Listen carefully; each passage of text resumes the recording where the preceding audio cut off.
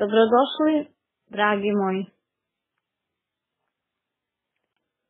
Ove večeri govorit ću vam o priči. O priči koju čovek priča sam o sebi kada želi da se izleči ili okrepi. Tu pritisnut među vekovima, isputan sobstvenim frustracijama i strahovima, čovek počinje da priča priču da bi istisnuo iz sebe oča, da bi se izlečio. Život na Balkanu daje mnogo podloge za pisanje priča. Na Balkanu su svi političari, sportski komentatori, selektori, kritičari tuđih dela i tuđih života.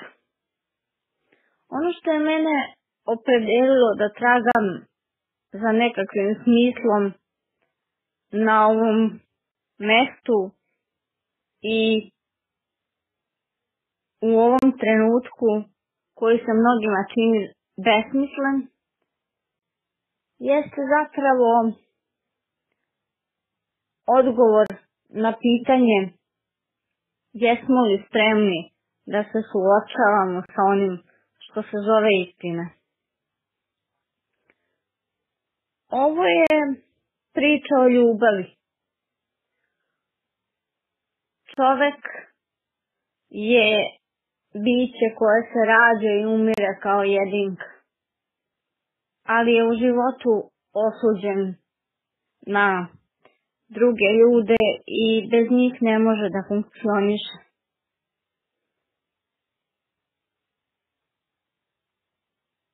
U toku života on stiče neke navike i uči veštine, ali ono što ga savladava i sputava u svemu ili ga ojačava jesu emocije. Pričat ćemo o emocijama. Dete u utrobi već zna šta mu se sviđa, zna šta mu se ne sviđa.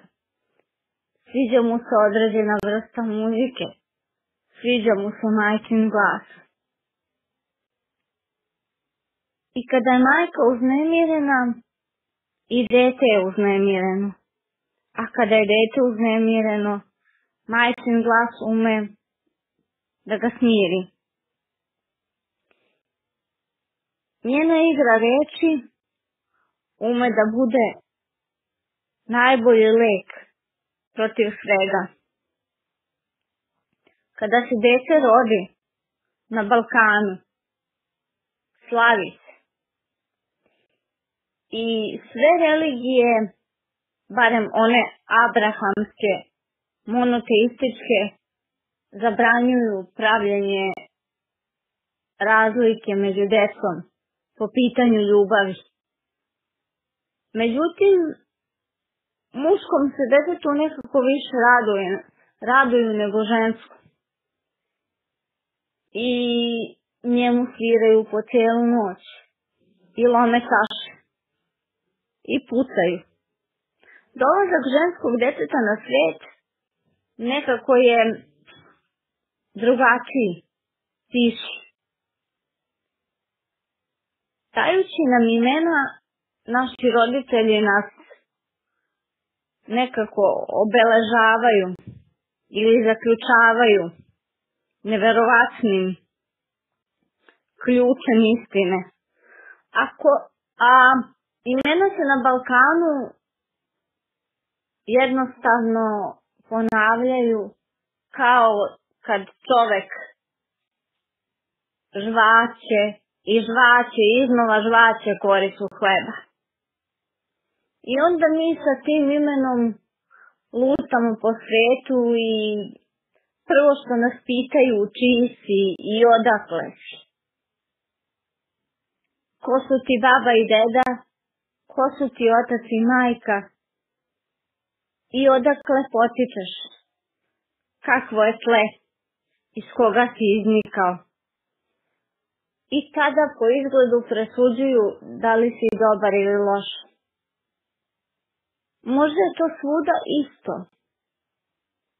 Ipak na Balkanu je to nešto specifičnije ili jasnije određeno, oštrije, bez lažnog skrivanja. I prosto dolazi do toga da čovek gledajući se u ogledalo i tražeći u njemu stvarnost ne prepoznaje sebe. A onda obučemo neke cipele i krenemo iz roditeljskog doma i poželimo da se možda nikada više ne vratimo.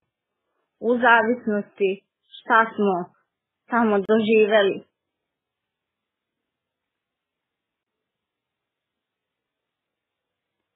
Kao žene, mi smo slabiji pol. Da, zaista smo slabiji pol, mada smo u svakom trenutku spremne da to negiramo. Svaka druga žena u Srbiji na Balkanu trpi neki oblik nasilja. Nasilje se rađa iz nedostatka širine uma, iz amova koji su, koji su stavljeni na nečije oči. I mi smo žrtve tog nasilja. Ono fizičko je vidljivo, ali ono mentalno je mnogo teže. Ne vidi se i ne može se pokriti šminkom. Ono naruži našu dušu. Stalna potreba da se priča o nasilju u porodici tera nas da siđemo do samog dna pakla i da pronađemo srž problema. I onda se potičemo o niz psiholoških termina, alienacije, slabe ukorenjenosti, asocijalnog ponašanja ili manjka sa osjećanja prema drugima. U jednom trenutku kada padnemo i kada se nađemo na zemlji tamo gde nas dočekaju neki ljudi koji su pre nas doživeli ta iskustva i bube, mi zapravo krećemo iz početka. I nekada pomislimo kako je lakše trpeti fizičko od mentalnog nasilja jer lakše je i da nas neko udari i da to nekome kažemo. Mentalno nasilje ostaje u nama, ukorenjeno. Eto, to je koren sa kojim se suočava i Balkan i Evropa. I zapravo to je onaj emotivni kvantum bez koga ne možemo, a koga najrađe želimo da se ratosiljamo i odreknemo. I svaki muškarac može da savlada ženu. I svaki dželat može da savlada žrtvu. Da, može da je savlada. Bez obzira na naše žensko busanje u grudi, mi to možemo. Mi smo postigli jednakost polova. Još uvek nismo. Oni još uvek mogu da podignu šaku i da nas bace u trošak neke sobe. Ili mogu da nas porežu po venama. Samo jednom riječju, i onda smo zapravo osuđene na čutanje. A tužno je to. Što ne smemo da kažemo, što ne smemo da trpimo, što je balkanski i srpski mentalitet kao prvi svoj kanon uveo to, čuti i trpi. Jer zapravo od trenutka rođenja o kome sam malo čas govorila, pa do trenutka smrti, koja nas može i oslobađa svega što smo do tada pretrpeli, postoji još samo dva prelomna trenutka. A to je venčanje i rođenje deteta. Kao žene oivičene smo, oivičene smo sa ta dva trenutka. Zapravo, venčanje jeste jedno, jedno, jedno od trikova ljubavi koje se koristi za produženje vrste. A produžiti vrstu na Balkanu to je veoma važno. Ako ne uspete to, mrtvi ste. I manje vredite od svih ostalih žena koje su rodile decu. Teorija nekih uspešnih žena i majki. Ja se sa tim ne bih složila. Najčešće mi ne poznajemo ljude za koje se udajemo ili sa kojima živimo. Zapravo oni su za nas zagonetke i samo stranci koji izlaze iz magle. I mi nismo spremne na iznenađenja. Jer ako nam neko izgleda savršen i jednostavno savršeno priča, savršeno izgleda, savršeno se brine o nama, tu negdje iza čoška stoji caka. Caka koja će nas mnogo koštati, kao kad neko u sred noći izvuče perolez. I onda ne postoji povratak. Jer Balkan je zapravo siromašna sredina. I naši pokušaj da godinama nadrastemo sami sebe nisu urodili plodom. Još uvek ćutimo i trpimo zbog zamrzivača, kreveta, zbog nekih poklona koje smo dobile na venčanju. Zbog te venčanice koju obučemo jedan dan, a posle stavimo u ormar da skuplja prašinu. Samo se postavlja pitanje ko je kupio taj ormar i da li ga možemo testerom prerezati na pola u slučaju razvoda. Naravno ne možemo. I kada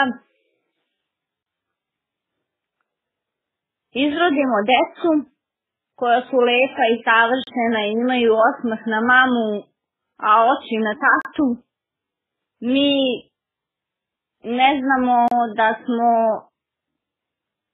rodili male čuvare intimnog pakla. Jer razvodi su u Srbiji i na Balkanu postali učestala stvar.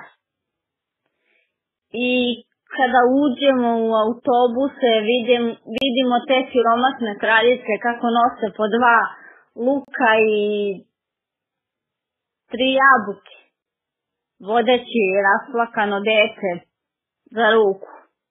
Zašto? Zato što ne mogu da mu kupe čokoladu. I to je nasilje. Nasilje koje nad nama svakoga dana vrši siromaštvo. Kako čovjek može nadrasti sam sebe kad ni bazične potrebe ne mogu biti zadovoljene za 80% nacije.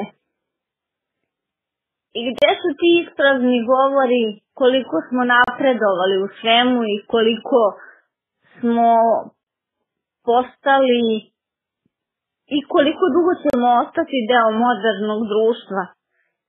Eto, sve naše moderno vidi se na ulici. Ali da se vratimo tom čuvenom venčanju. To je uglavnom buka, nije oko čega gomila gostiju koji jedu i nalaze zamerke na hranu. Nalaze zamerke na šminku i garderobu, nalaze zamerke na tuđe poklone iako su došli sa praznom kovertom tek da se pokažu. I uveče se završava sve sa nekakvim činom ljubavi ili možda ne, jer smo suviše umodni dok prebrojimo novac. E, posle toga slede godine.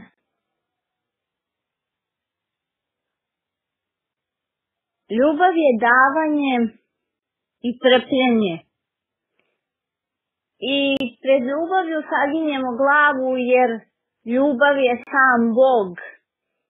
A ljudska i ljubav čoveka i muškarca prema ženi jeste u stvari dar poslat od Boga. I zato joj se povinujemo. A onda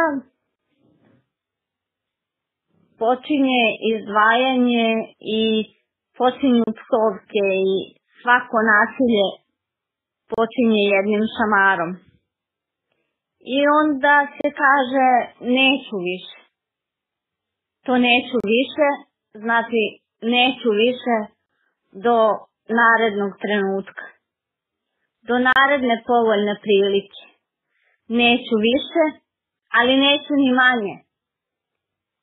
I onda sve to ide gradacijom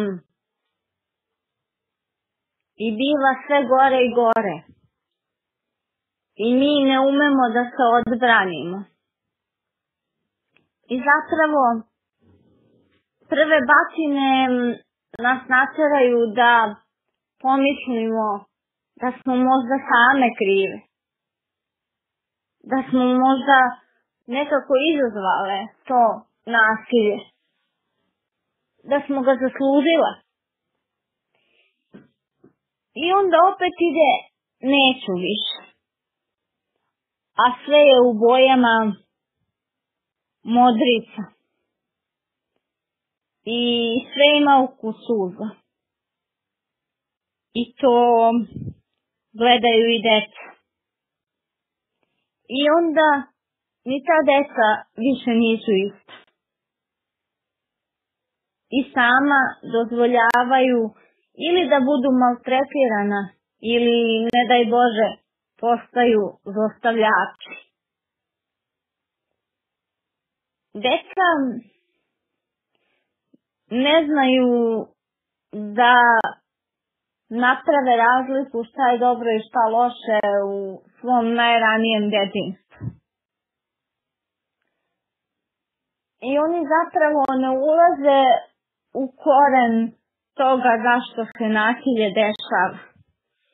A nasilje se možda nekada dešava i iz ljubavi, pod navodnicima rečeno. Mada nijedno nasilje nije opravdano. I prosto ne nalazimo više sebe, ne prepoznajemo sebe u ogledalu, a prisiljeni smo zbog dece ili zbog gole egzistencije koju nismo u stanju da održimo, da ostanemo sa nekim koga ne volimo i kada se jednog jutra probudimo, mi vidimo da nam smeta svega nekoliko sitnica kod našeg partnera. Smeta nam kako diše, smeta nam kako hrče, smeta nam kako mljačka za stolom, smeta nam kako glasno sluša utakmice i trči za prijateljima. A mi ostajemo same, sa decom. I opet smo kraljice gradskog prevoza koje umetnički vuku po dve torbe i dvoje dece. I brinemo se o školskim zadacima. I sve nam biva sve jasnije i jasnije što se više trudimo da kuvamo omiljena jela, to smo sve manje omiljeni i sve manje smo mi na meniju. Često nas menja neka nova ženska osoba koja nije ni nalik nama. To ne mora nužno da znači da je lepša i bolja od nas. Samo je drugačija. Čula sam komentare osoba koje poznajem koje su rekle pa sve je bilo u redu, pa ja sam ga pazila kao malo dete i kuvala sam mu. Jedini problem u svemu tome je što mi nismo i što oni nisu mala deca. I što sve ono što mi ne vidimo, oni koriste i maltretiraju nas. Nasilje jeste traženje slabosti one druge osobe kako bi je držali u pokornost. I samo vrisa koji se podižu do neba možda može da bude odgovor na sve.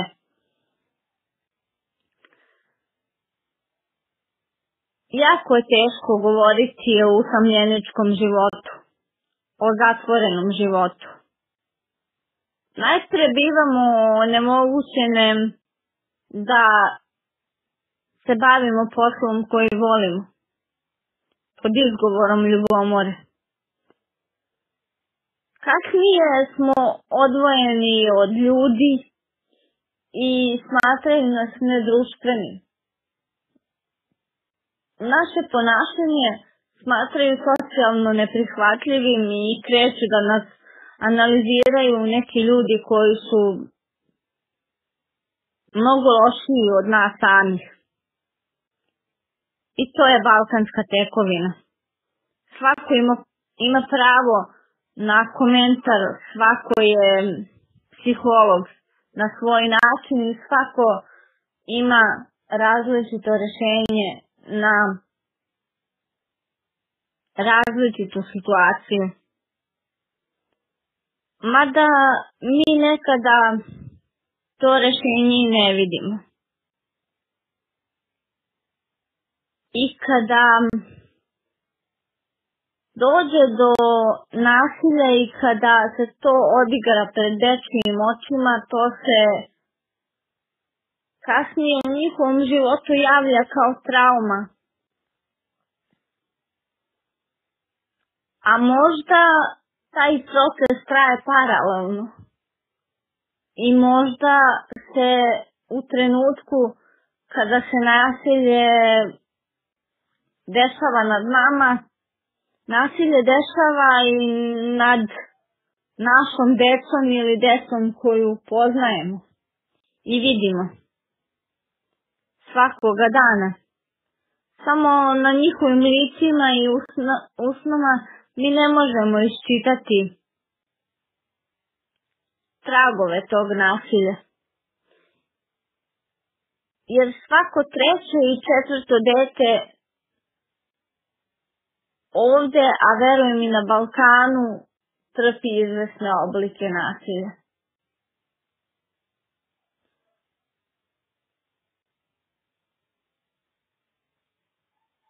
I kada zbog najmanje sitnice jedne večeri posle bioskopa ili koncerta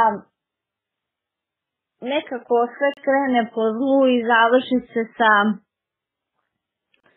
krvlju, mi se opet pitamo jesmo li krive i s vremenom ubeđujući same sebe da jesmo, pokažemo da maksima da sto puta ponovljena laž postaje istina jeste deo i našeg života. I onda ponovo sa cipelom u našoj krvi taj neko koga smo nekada voleli kaže neću više. I mi kažemo ajde da sačekamo, da sačekamo još koji dan, koju godinu, koji mesec. A vreme prolazi i prolaze godine i prolaze decenije, a taj neko se ne menja. Kada pomislim na svakovrsne oblike nasilja nad ženama i decom, nad nejakom teljadi, na Balkanu, meni ne mogu uh, da ne padnu na pamet nacističke torture. Izolacije i večitog iritiranja i skakanja po moždanim vijugama. Sa telesnom patnjom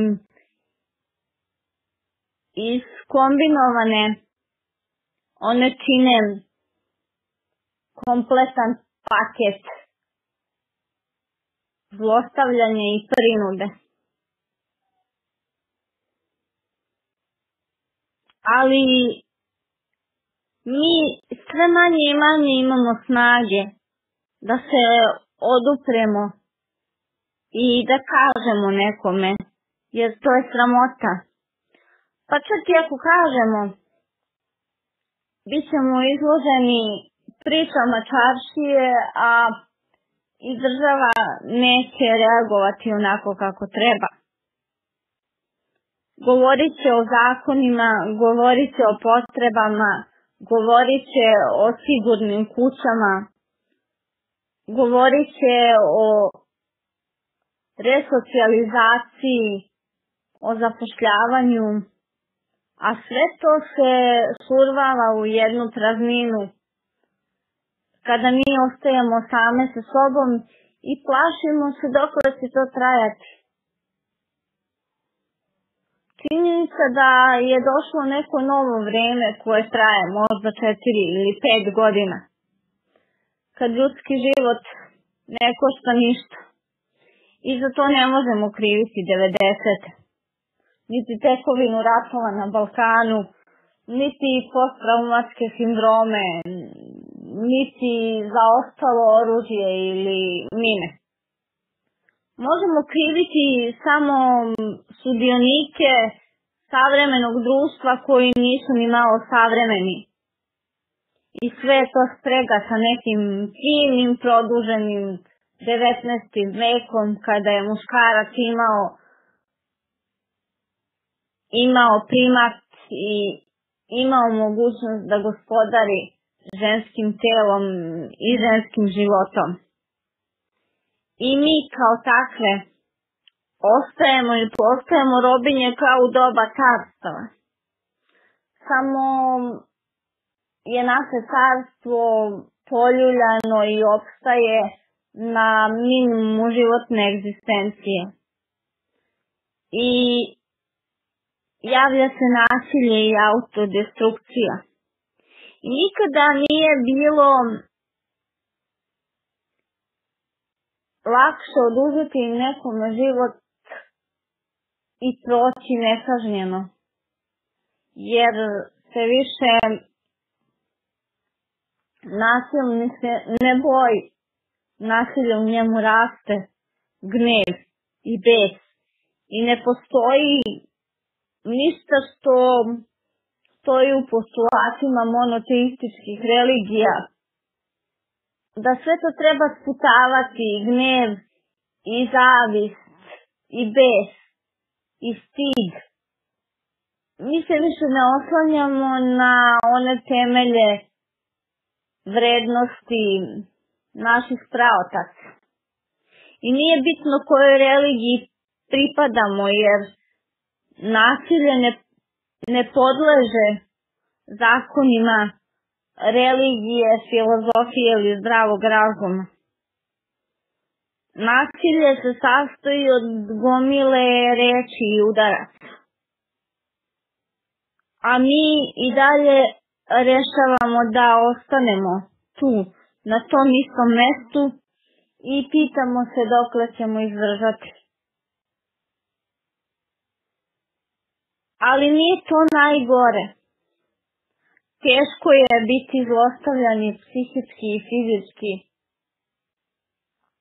I tortura, izolacije i uvreda i stvaranja sveopšteg ništavila oko žene, sve to nije ništa pripomisli da neko maltretira njeno dete pod pretpostavkom da je ta žena majka.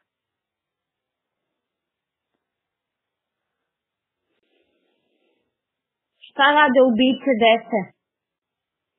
Da li one o nečemu razmišljaju?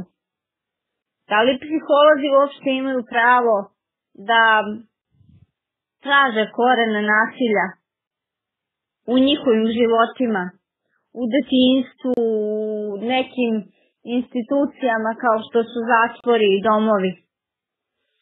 Da li zato što su zlostavljani možemo da im oprostimo što su zlostavljali ili ubili dete? I da li negde naša čovečnost traži da onaj ko ubije bude ubijen? Zar zločinačka i ubilačka namera nije ista kao i ubistvo? Da, jest. Ali zapravo drugo je to kada se neko bori sa Bogom i ljudima kao što je to činio Jakov. A drugo je to kad neko nasrne na dete. I zapravo ovaj svet je loše podneblje za odgajanje dece. I kada pustite dete na ulicu i kada ga pustite u školu, ne znate da li ste ga pustili među čopar vukova. E, tu u jazbini, u zmijskoj jami, se rađa nasilje. I kada se nađe među grupom drugova, da li se nađe među grupom nasilnika? Da li će trpeti nasilje ili će biti izazvan? Da nasilje počini i da mu to u jednom trenutku obeleži i sasvim promeni život. Nije teško reći ja sam vrednija jer sam rodila dete u odnosu na tebe koja to nisi. Teško je sačuvati dete i vaspitati ga da bude dobar čovek. I negde sa kraja drugog svetskog rata pomislili smo da gomile žrtava čine završni čin nasilja, ali prevarili smo se. 20. vek nije vek erupcija i nije vek u kome nasilje odrasta i jača i postaje zver. 21. vek ima mnogo perfidnije oblike nasilja. Nasilje se oblači u različite odore i mi ga teško prepoznajemo. Sa druge strane, i dalje smo sami. I dalje nismo sigurni šta treba da kažemo svoje deci. A onda se okrećemo nekim ljudima koji su već duže vremena otpisani. A to su stariji ljudi. Radeći predavanja u gerontološkim centrima i klubovima stičem jedno iskustvo da i pored toga što se neki dobri ljudi brinu o tim najstarijima koji su zapravo podigli ovu zemlju i podigli nas i za koje je bilo vrlo lako reći pa dobro, ako izađemo negde mi ćemo decu ostaviti babi i dedi. I pored toga vlada nekakav teror mladosti, a nećemo svi biti mladi. Postoji jedna tako tačna, tako odvratna izreka koja kaže čim se čovek rodio, grob mu se otvorio. Zapravo, samim našim rođenjem počinje starenje i mi nikada nećemo ići sve jači i sve mlađi, iako mladost ume da bude neobuzdana. I u tim trenucima, kada gledam ta lica koja me slušaju i pitam se da li sam dostojna da ih podučavam ako su oni stariji od mene i bogatiji po iskustvu. Shvatam da su i oni negde nečije majke i očevi, bake i deke, prabake i pradeke, ostavljeni da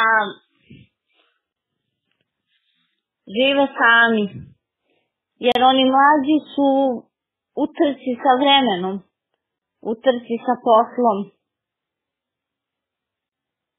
I opet se u svojim govorima spuštam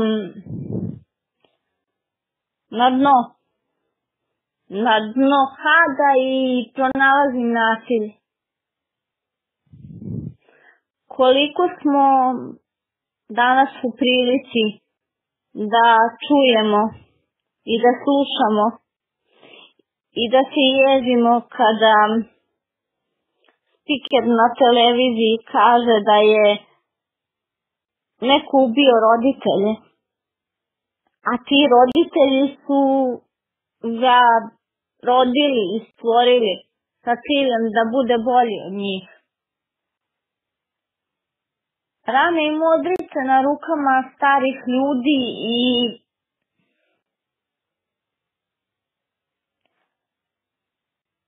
nekakvi ožiljci na njihovim dušama, sve to pokazuje da ipak ne možemo biti u pravu ako ih ostavimo. Ni oni nas nisu ostavili. I zapravo zemlja Srbije je u toliko bespomoćna i na kolenima dok njo, njome vladaju materijalni zakoni gde se nalazi moral i socijalno staranje ako vidimo da sin istera majku i oca iz kuće i povredi ih. Samo zato što hoće da zasnuje svoju porodicu. A tu kuću su oni podigli. Ti ljudi bivaju isterani iz svojih kuća i lutaju i bivaju povređeni. Sećam se jedne svoje prijateljice koja više nije sa nama u smislu da joj je razum tu. Godinama je pokušavala da ostane trudna. I u bolesti je dobila kjer koja je nikada nije poštovala. Možda baš zato što se ona toliko trudila da je rodi. A da je znala koga će doneti na svet, možda bi bilo bolje da nije ni pokušavala. Zapravo, ona je bila bolesna i kjer je došla u stan samo na pola sata. I kada ju je ona pitala koliko ostaje, ona je rekla ja nisam došla da ostanem s tobom. Nisam došla da vidim tebe. Došla sam da nahranim psa. Eto, upravo je to jedan od prikaza, najsurovijih prikaza nasilja. Nekoliko godina kasnije, ta njena kći je bila pred udajom i ona je bila toliko srećna. I išla je u crkvu da zapali svijeću za sreću svoje jedinice. Znate li šta se desilo?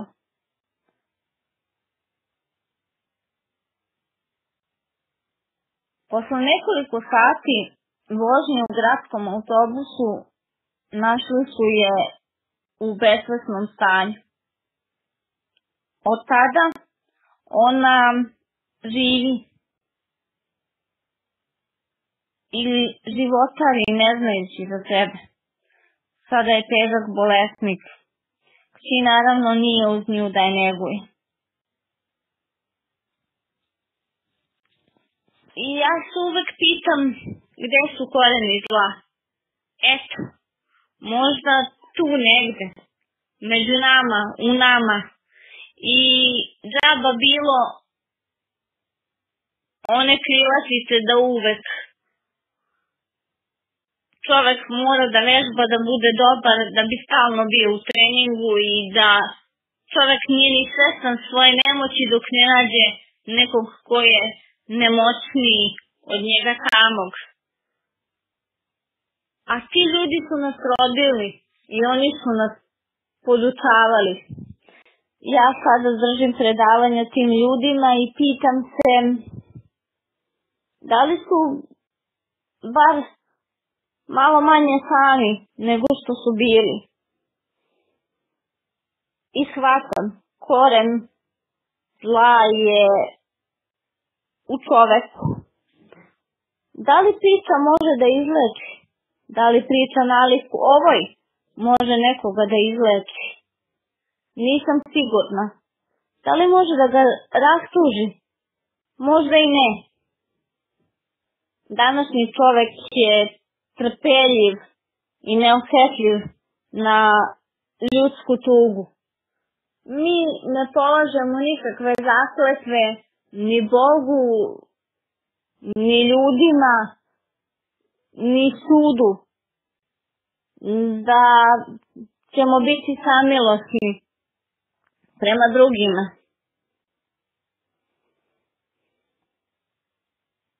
Želimo nekom nešto da uzmemo. Pa hajde onda da smislimo kako i zašto. Zar nije najlakše zapodrenuti neku svađu?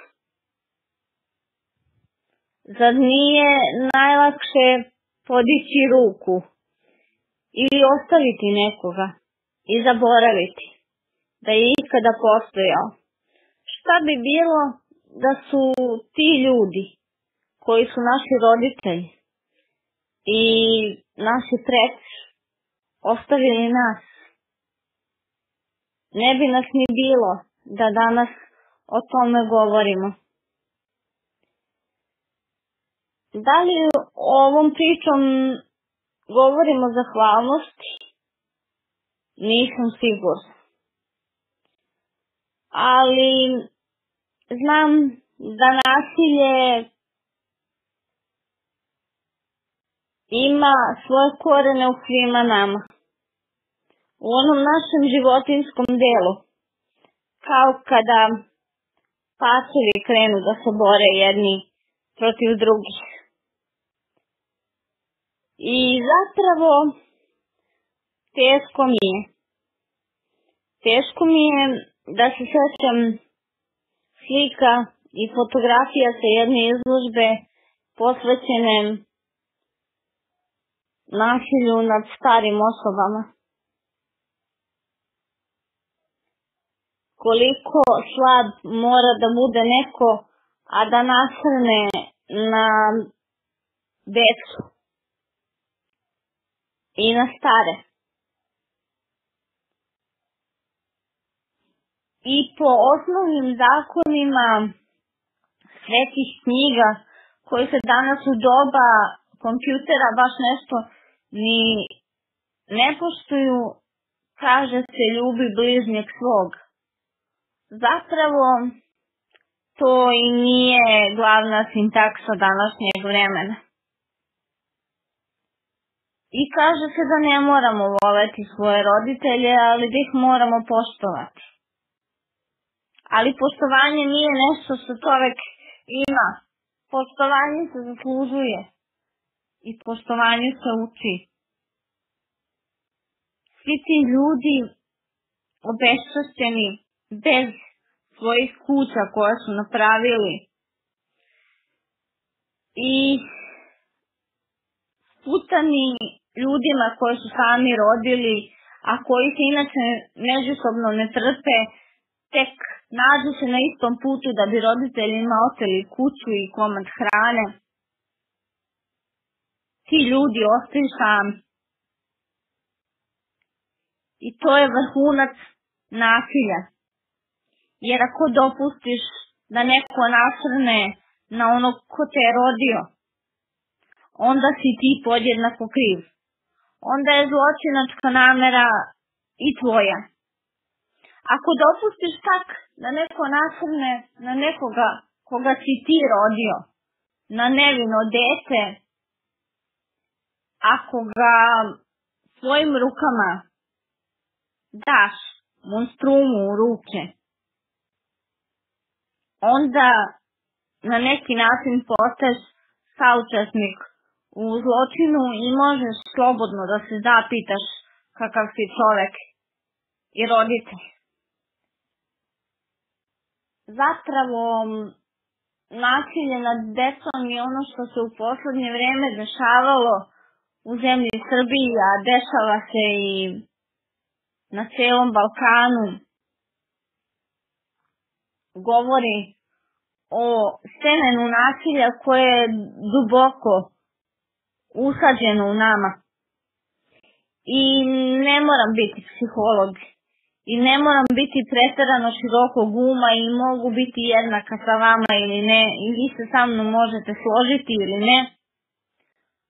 Ali mislim da nijedan psiholog, nijedan običan čovek, nijedan pošten čovek ne treba da stane na stranu zločinca i da mu pronalazi olakšavajuće okolnosti, što je i sam bio zlostavljan. A šta da kažu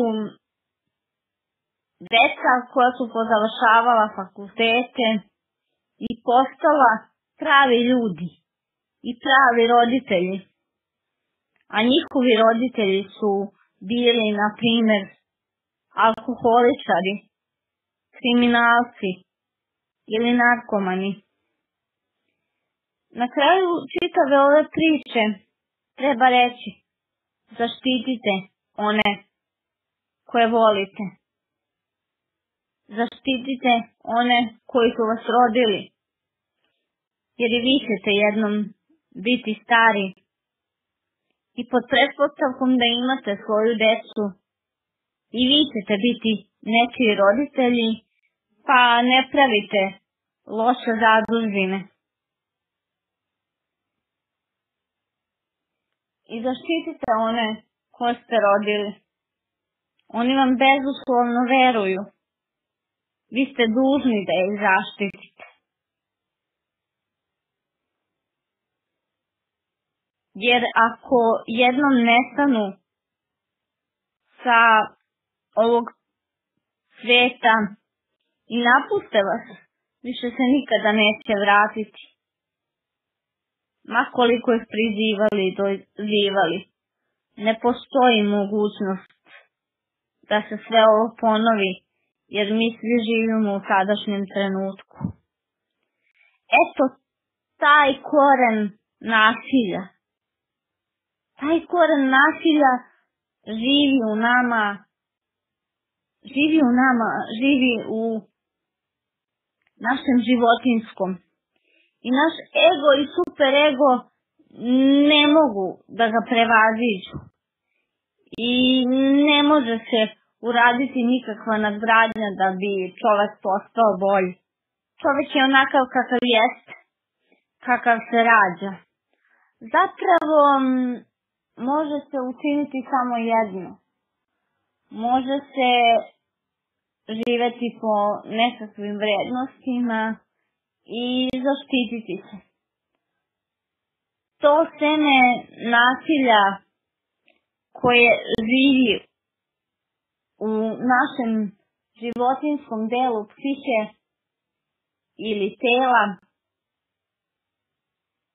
e, sastavljen, e, sastavljenom od nagona i loših impulsa prouzrokuje intimne ili velike katastrofe.